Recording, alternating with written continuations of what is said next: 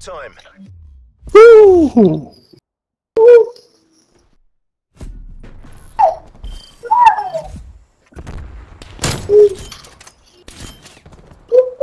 Boy, this boy's getting this this boy's getting hurt right now.